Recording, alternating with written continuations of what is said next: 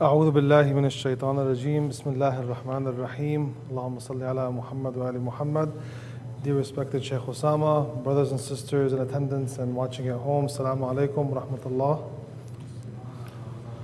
Thank you very much for joining us tonight for our Saturday night program. Uh, inshallah, to start the program off, we'll, uh, please welcome Brother Ali Baydoun with a loud salawat ala Muhammad wa Ali Muhammad.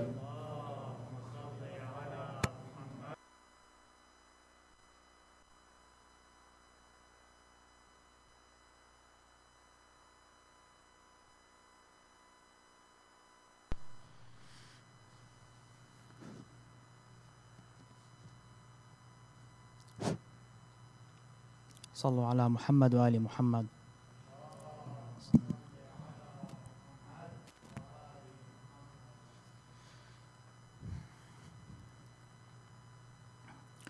أعوذ بالله من الشيطان الرجيم.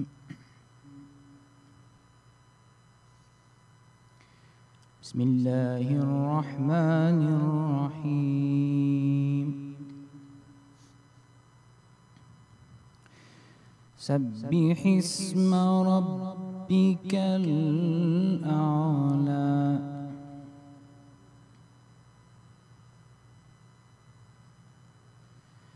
الذي خلق فسوى.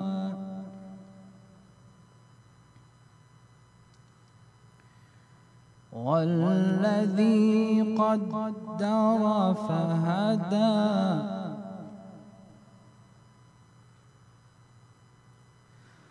والذي أخرج المرعى.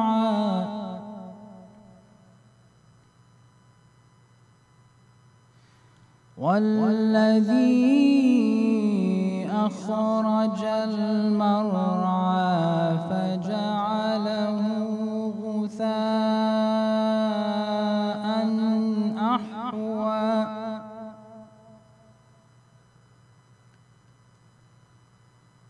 سنقرئك فلا تنسى.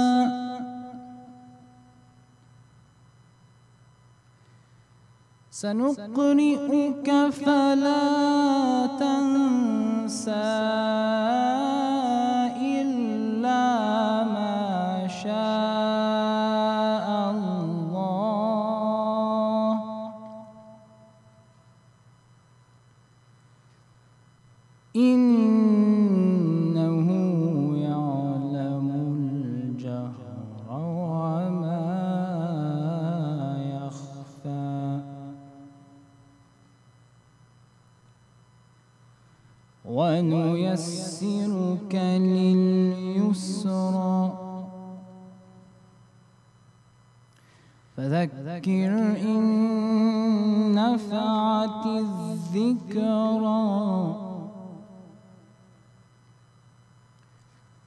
فذكر إن نفعت الذكرى.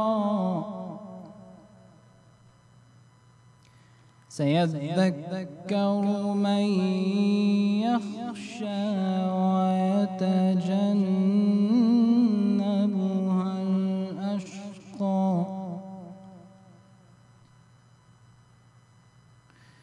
سيذكر من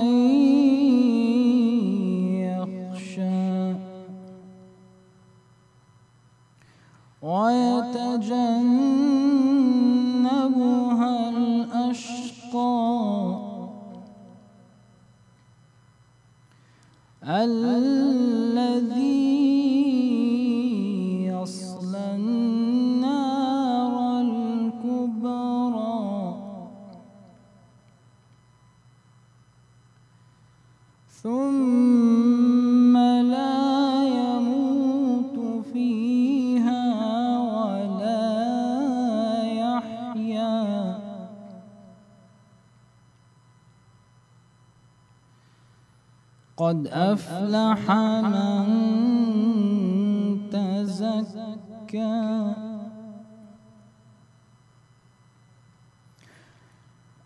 قد أفلح من تزكى. قد أفلح من تزكى وذكر اسم ربه فصلى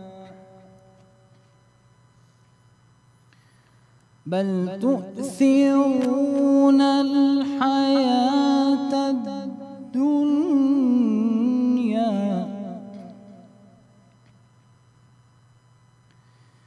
بل تؤثرون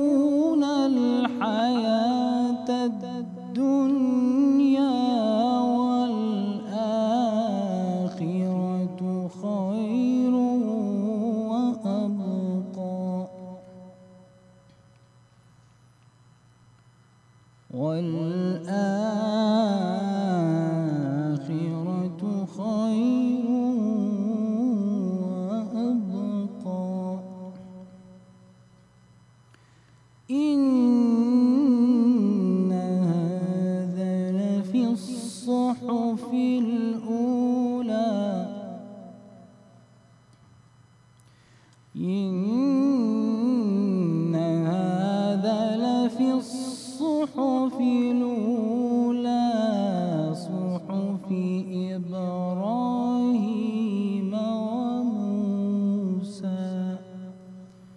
صدق الله العلي العظيم. صلوا على محمد وآل محمد.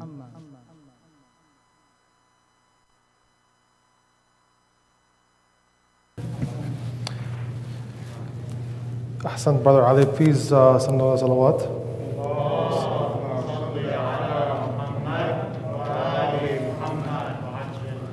Assalamu alaikum once again, brothers and sisters. Just a couple of announcements before we welcome Samahat al-Sheikh. Um, firstly, just um, face masks are required at all times within the building. Um, and we do ask that you please practice safe social distancing as uh, you guys can all observe the chairs are spaced out uh, generously and try not to congregate uh, as much as possible uh, just to avoid uh, any issues that might uh, come about. Uh, we do ask that we limit movement during and after the program as well, um, due to trying to limit some of these, um, uh, due to some of these restrictions. The bathrooms uh, are open. They are across the gym floor. If you want to, if, if you need to use the bathroom, please see one of the brothers or sisters in the back, and they can direct you to that um, that spot, inshallah. Um, without any further ado, please help me welcome Samahat al-Sheikh Osama with three loud salawat ala Muhammad wa ali Muhammad.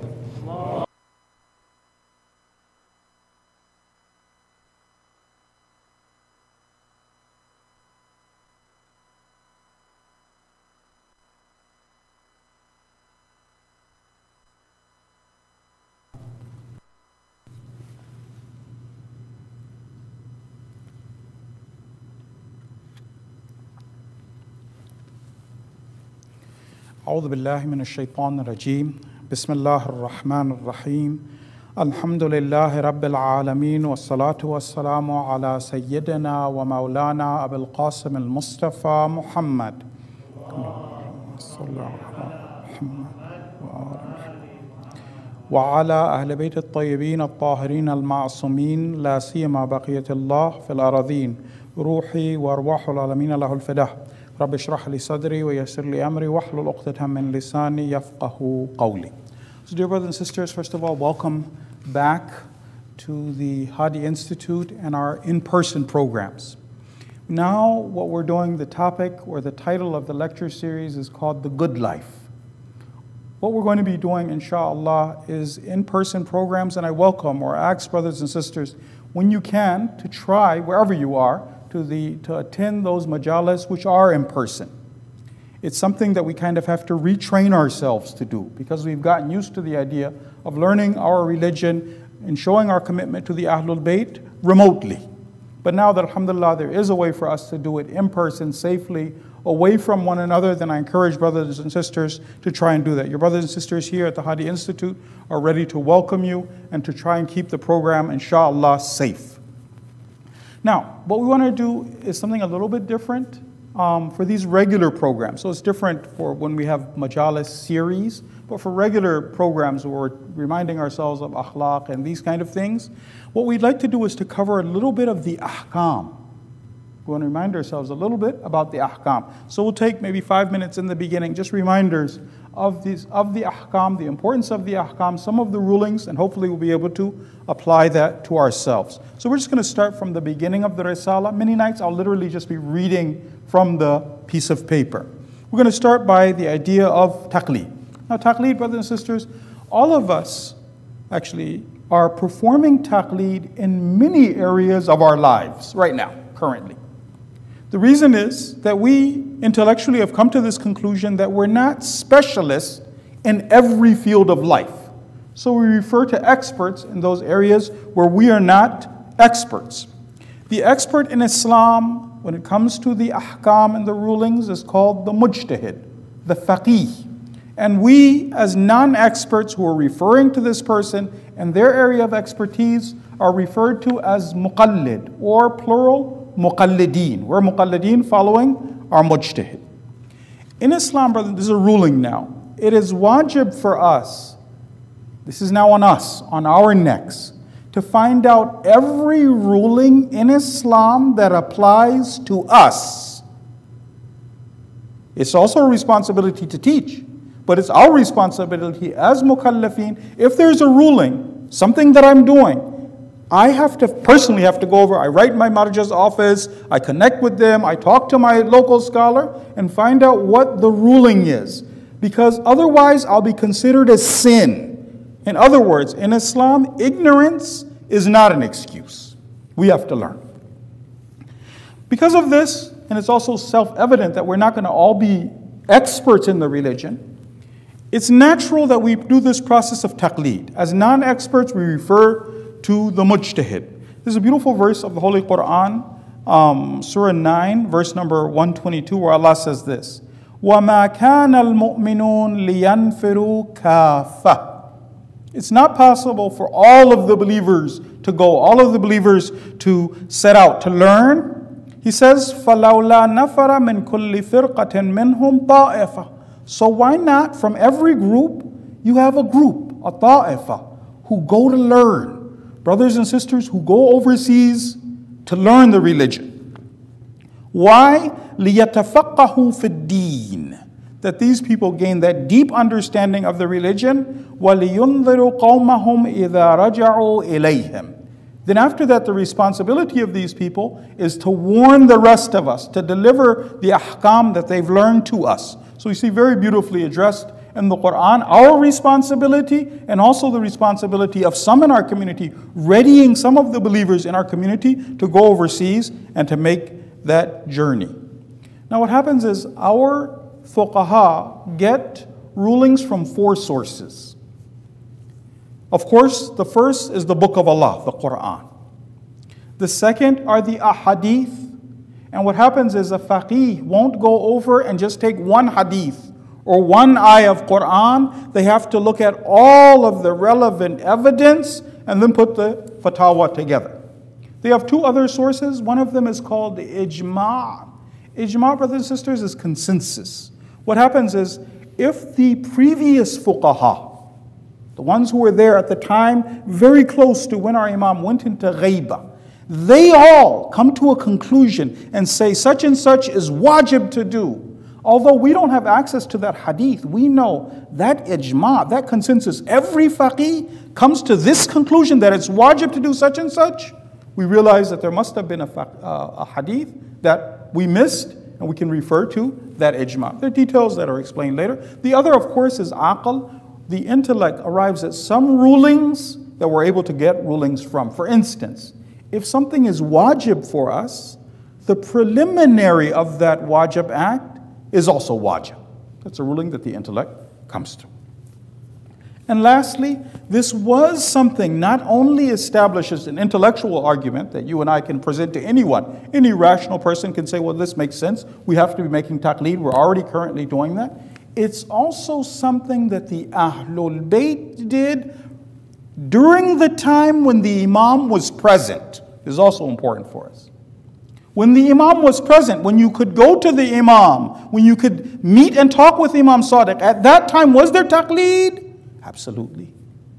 We have many hadith about this. I want to share one where a man is speaking to the eighth Imam. Today, inshallah, we're going to be commemorating three important events. One of them, the Shahada of the eighth Imam. The Imam explains to Imam Rida, he says that I live far away from you. I'm not able to come to benefit at all times.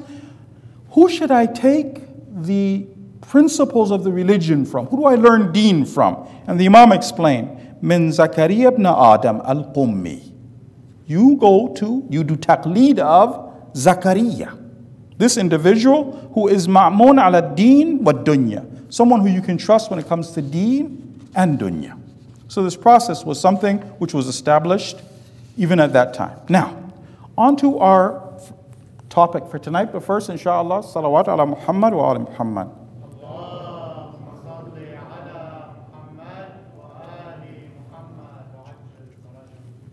So, our first Good Life session coincides with three very important events in the Islamic calendar.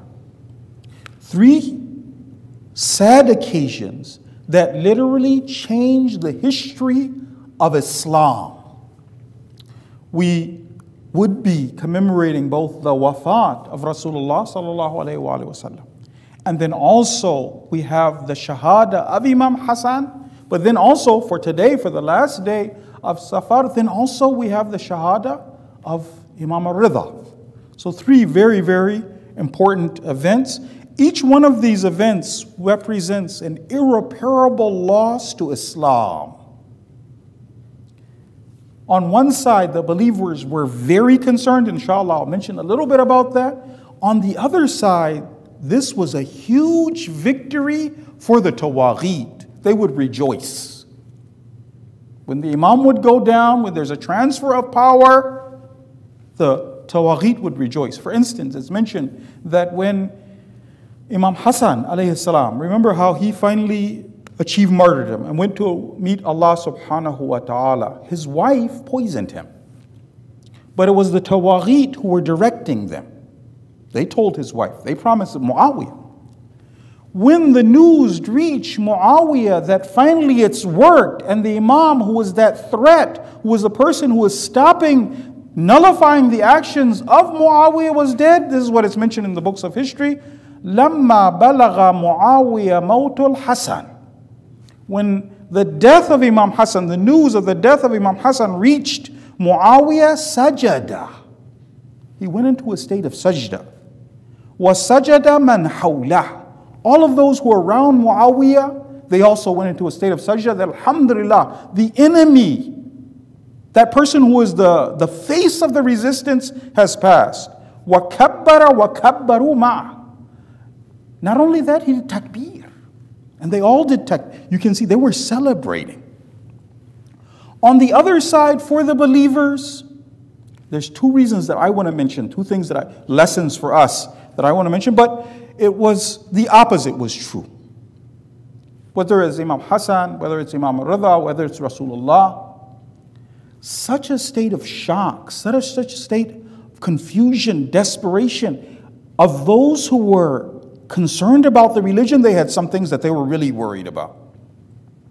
For the believers, they had lost their father, they had lost their leader, their guide, the person who was everything for them, Rasulullah. The person who was the connection between them and the heavens. He had died. It's natural that the people losing this kind of a leader, there will be a huge emotional response. A man tells us we have eyewitness accounts of what happened when our prophet died. The man says, I went to Medina, and he says, remember, Medina at that time was a small city. He says this, وَلِأَهْلِهَا Vajijun bil buka. The people were wailing. He says it was like Hajj. Imagine all those people would be there for Hajj. The noise, he says that Medina was like that. He says, I asked what happened. They said that the Prophet had passed. So that emotional reaction was there. The people knew they had lost this leader. For those who were concerned about the course of the religion, there were two things that they were very afraid of. The thing that they're very afraid of is the issue of wilaya and the transfer of power. For those who are concerned about the religion, what happened was the Prophet or the Imams after him, when he was there, his wilaya was established. And remember, according to us, wilaya is the core of the religion. We have so many ahadith from Ahlul Bayt that Islam was built on five things. And the most important of them is wilaya, that authority. If that's there, everything else is safe. The wilaya of the Ahlul Bayt was established during the time of Rasulullah, for instance. Imam Hassan, Imam Hussein. But when he died, there's going to be a transfer of power. There'll be a new Imam. For the previous wali, he's established, the people know him, his wilaya is there, they trust him, they follow him. The enemy has plots, the enemy always has plots. But what would happen would be that one speech of Rasulullah, one speech of Imam al Rida, one speech of Imam al Hassan could gather the masses. People could recognize the plot. The danger and the sensitivity was always after the death of the wali. What's going to happen next? The enemies, they're rejoicing, ready to attack Islam. The believers are concerned. I want to see if I can share this in a beautiful story. Inshallah, brothers and sisters aren't scared of jinn stories. And if you are scared, then I'm here, so no reason for us to panic. Beautiful, beautiful story about the time of our prophet. Let's remember that point, though the transfer of power. What happens is, they say this Our prophet was sitting, and a man came into the presence of Rasulullah, and it was as if as he was as tall as a date tree. SubhanAllah, this huge, tall guy came. The Prophet of Allah asks him, Who are you? The man introduces himself. I'm Ham bin Him bin Laqis bin Iblis. Rasulullah says, So you're the great grandson of Shaitan? He says that, he starts introducing, remember the point. Why is it Rasulullah? Why this time? Why in this way? He says that I was there when Qabil killed Habil in the time of battle. I was there. He says, I was a young boy. He says, but I could understand. I knew how to talk, I knew what people were saying. He says that I used to encourage people to disobey Allah subhanahu wa ta'ala and to cut the ties of relationship. The Prophet said, What you did was terrible. He said, I made Toba. The Prophet said, Which prophet did you make Toba with? He said, I made Toba with Nuh. Remember, Rasulullah is higher than all of the Prophet. I made Toba with Nuh. He says, actually, I was with Nuh in the ark. He says that when Nuh, finally the people had done so much nonsense, and Nuh prayed that Allah destroy them, he said, I criticized Nuh. I said, and he said, Nuh cried so much for the destruction of his people that I also started crying. He says, After Nuh, I was with Ibrahim. He says that I was there when they cast him in the fire and they turned the fire, Allah turned the fire cool and safe for Ibrahim. After that, he says, I was with Yusuf. I was with him when he was cast in the well. I was with Musa. He says that I was at the time of Musa, and Musa taught me part of the Torah. He said, Musa told me, Nabi Musa told me, he says that when you meet Isa, pass him my salams. He says, I met Nabi Isa, I passed the salams from Musa and Nabi Isa passed salams to you, to Rasulullah. Salli ala Muhammad wa ala Muhammad. Allahumma salli ala Muhammad. He said, Nabi Isa also taught me part of the Injil. At this stage, Rasulullah responds, he says, وعلى عيسى روح الله وكلمته وجميع أنبياء الله ورسله ما دامت السماوات والأرض السلام سلام on Isa Salam on all of the Anbiya, all of the Rasul. He says, as long as the heavens and earth are established and exist. He said, Salam's also on you, Ham, because you pass salams to me. The Prophet said, Ask me for something. Remember all the companions now sitting watching this. Ask me for something. Before Ham asks for anything, he makes a dua. He says that I want Allah to preserve you for your ummah. I pray that your ummah has tawfiq of istiqamah when it comes to your wasi. This is what he says. فَإِنَّ الْأُمَمَ السَّالِفَةِ The previous nations إِنَّمَا هَلَكَتْ بِعِصْيَانِ الْأَوْسِيَاءِ The test for the previous nations was the wasi. When that new wali would come into authority, the ummah wouldn't be able to do their responsibility, they would fail and they would be destroyed. He says, My haja is this. He says, I would like you to teach me a few surahs of the Quran so I can make salah. Rasulullah says that Ali teach him a few surahs of the Quran. Ham said, Who is this who you have entrusted me with? The Prophet asks, He says, Who was the wasi of Adam? He says, His son Shith. Who was the wasi of Nuh? Who was the wasi of Hud? Who was the wasi? Keeps going, keeps going. Isa. He keeps naming them. After that, he said, In the previous books, what was the name of the wasi of Muhammad? He said, Ilyah.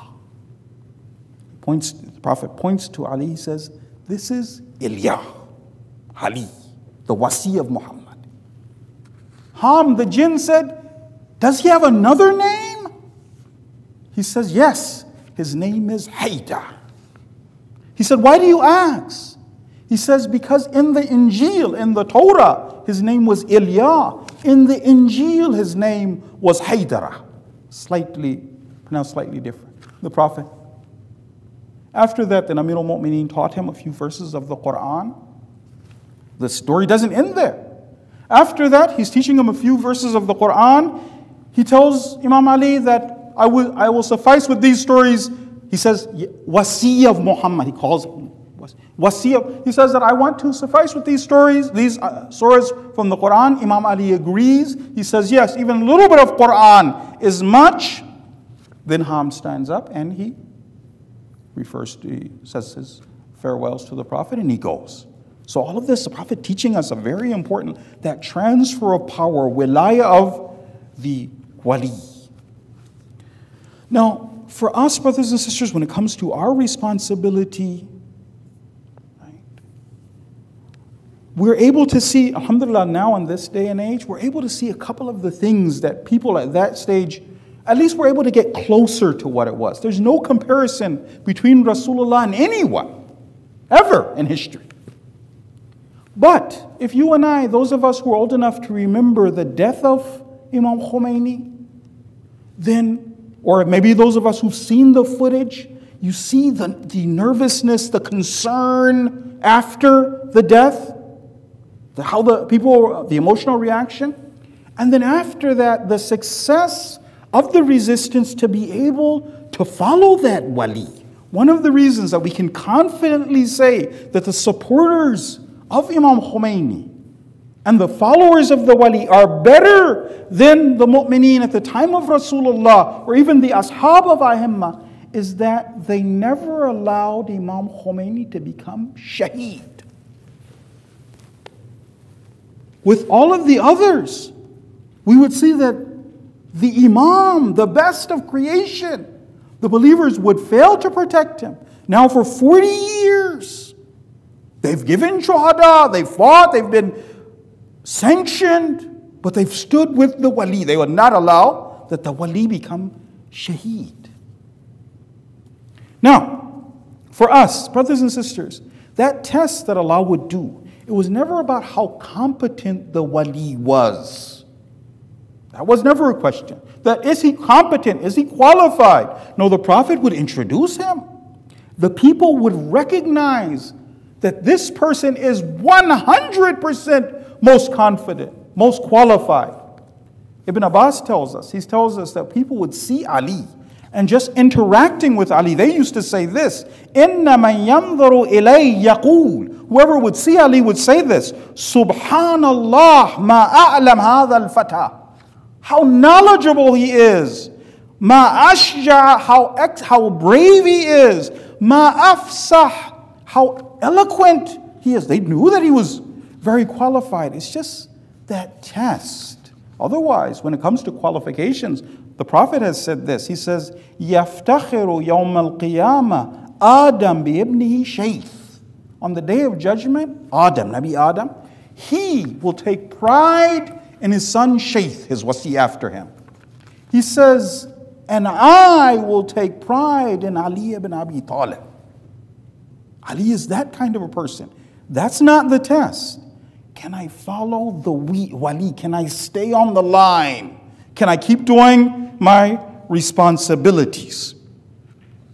Now, brothers and sisters, I said there was three wonderful individuals, and ideally, if we had had a chance, it would have been nice to have even three days to even, even if it was just a little bit, talk a little bit about the contributions of each one of these individuals. But we don't want to do that. We're just starting up. We'll keep it easy. We'll keep it light, inshallah.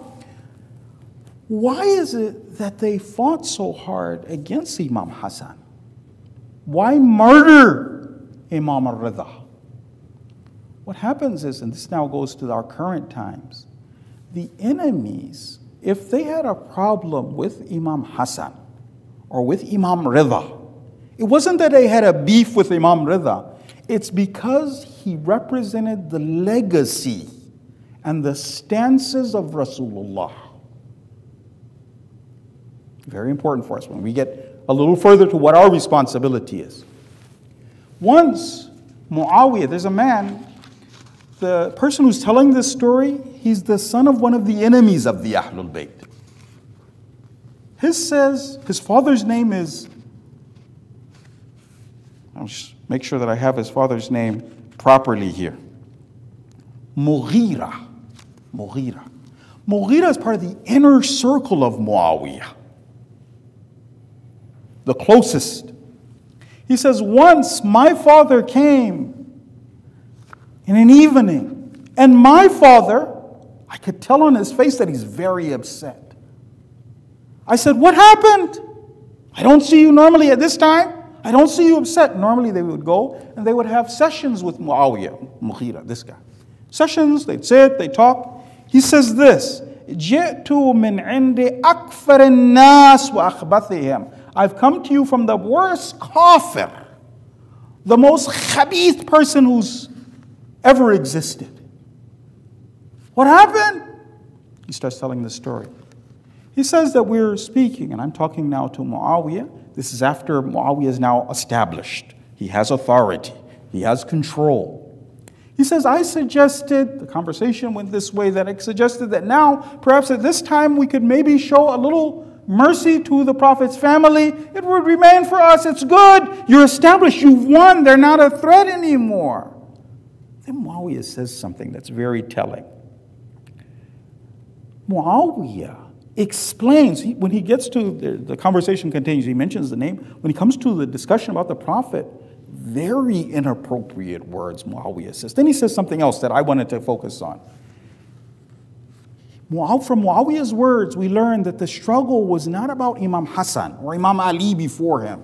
He said this For me, I'm translating his, for me, it's not over until I bury the name of Rasulullah.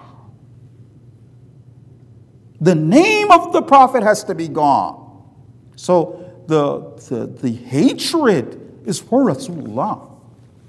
Current responsibilities something that the enemies of Islam have discovered, and you and I, we keep seeing this happen, is that in order to stop the spread of Islam, one of the things that they have to do is to denigrate and distort and defame the prophet. Brothers and sisters, we talked about the idea of a person not being impressed with their own heroes. We talked about that before when we talked about Imam Hassan, Imam Sajjad. What if I destroy your heroes to the extent, defame them such you can't mention their names with pride? You see, what happens is the enemies of Islam over here in the West, this has been going on a long time, from the Middle Ages. They knew that if people know Rasulullah to the extent you know him, even less than that, it's guaranteed people will be attracted to Islam. Guaranteed. So, one of the things that they have to do now, why is it that they keep bringing up the issue of the cartoons? Charlie Hebdo. Why? There's some reason to go over and denigrate, attack, insult the Prophet of Allah. They have to make sure that the people of the world don't get to know the Prophet as he was. Our responsibility to make sure that we do know the Prophet and we introduce him, each and every one of us. We introduce him to our children. We introduce him to circles. We have circles of influence. We talk to others about Rasulullah as he was. Brothers and sisters, let me mention this also as well. It's not about saying that our prophet was like other anbiya. This part might be a little hard, but we have to buckle down and wear our big boy pants, inshallah. For us, we have to say that our prophet was better than everyone else. Better than everyone else. As Allah says in the Quran, Kuntum khayra ummatin ukhrijat linnas. God says, you are the best nation, not the same. Now we want to sit at the table, not interfaith discussions. The supremacy of Islam. Once one of the Jews came to our prophet. And he asked the prophet, he told the prophet, he said, Are you better or Musa? Musa, who had the asa, the stick. God, what did God do for Musa? Mentioning miracles of Musa, what the prophets say. He says, Ya Yahudi, inna Musa, law adrakani, if Musa himself was here, thumma lam yu'min bi wa binubuwati, he didn't believe in me and in my nubuwa, ma nafahu imanuhu shay'a, his iman would be worthless. ولا نفعته النبوة His nubuwa would also be useless. He continued with the supremacy of Islam. He says, Ya Yahudi, وَمِن ذُرِّيَّتِي الْمَهْدِي One of my children is the Mahdi. إذا خرج نزل عيسى ibn Maryam. When he comes out, the Mahdi, he comes out. Who's superior? When he comes out, when the Mahdi does khuruj, Nazala Isa, Isa will descend from the heavens, linusratihi, in order to pray. Wasalla khalfa. He will pray behind the Mahdi. Right? If you see, true Islam is not apologetic, not the same as all others. This kind of reminds me of what Muhammad Ali said. He says, it's not bragging if you can back it up. I'm not the same as everybody else. I thought of one of the stories of the Prophet for us to share, given the time, meaning a relevant fadila that we could share of our Prophet. You and I were all watching this election and we're seeing how the empire wants to get Biden in, and we see Trump struggling desperately. I mean, I'm watching the commercials just for kicks. I mean, to me, it's just go at it.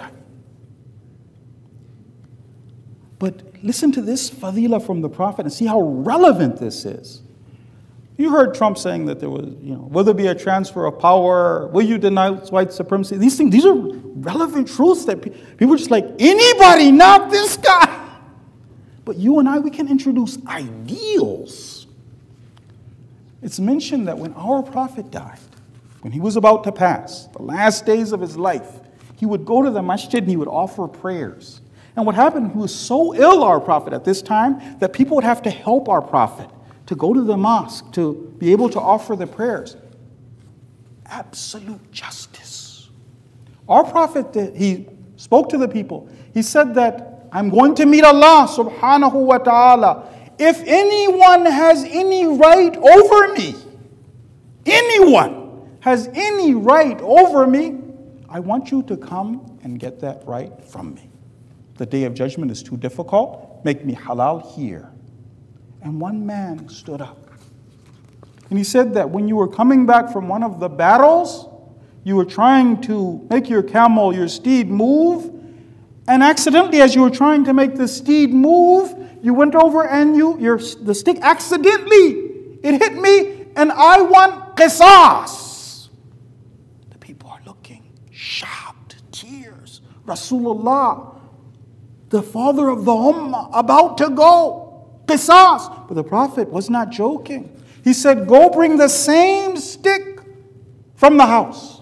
And they brought the same stick. And the Prophet lifted up his shirt for the man to hit him also on the stomach.